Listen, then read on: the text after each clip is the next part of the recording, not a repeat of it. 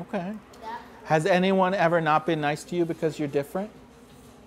Can you tell me about it? Because first I never had glasses, but then now everybody, sometimes at my school, they call me a nerd a lot.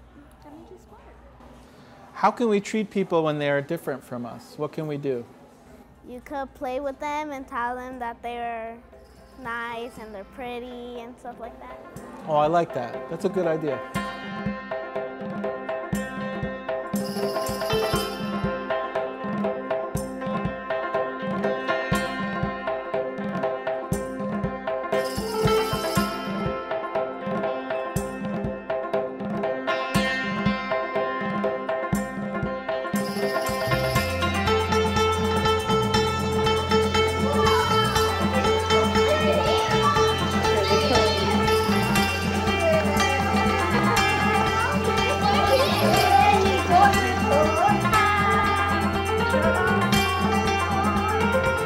The were large and old and went down when they widened the streets across this whole nation. They're very nice. This is our house.